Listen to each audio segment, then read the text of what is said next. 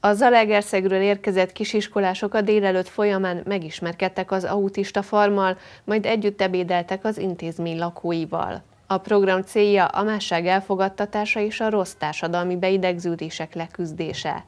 Erre a pedagógusok szerint már egészen fiatal korban is nyitottak a gyerekek. Mindenkinek fontos lenne ezt megmutatni, de minél hamarabb elkezdjük, annál könnyebb, hiszen érdemes ránézni, végignézni a gyerekeken, ahogy játszanak, és csapatversenyben vettek részt ezekkel az emberekkel, és megkérdeztem, hogy érzik magukat, minden rendben van, teljesen, teljesen elfogadták őket, fel sem merül bennük, hogy ők esetleg mások lennének, óriási szeretetet kapnak tőlük, és ők csak ezt érzékelik, ők még a szeretet nyelvén érzékelnek mindent. A közös önfelett éneklés, az együtt lejátszott foci és kosármeccsek azt bizonyították, hogy a program elérte célját.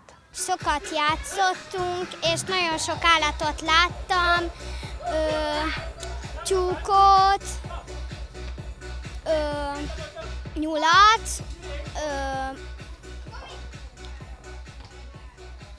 malacot, megláttam sok embert, és megbarátkoztam sokkal.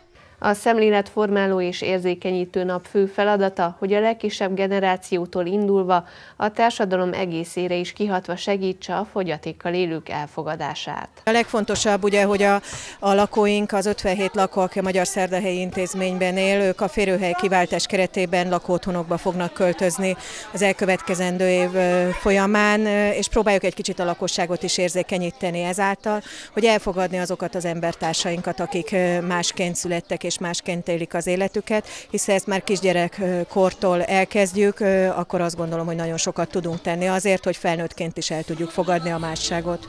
A diákok az érzékenyítő napon az otthon minden lakóját megismerték, és az egész délutánt velük töltötték.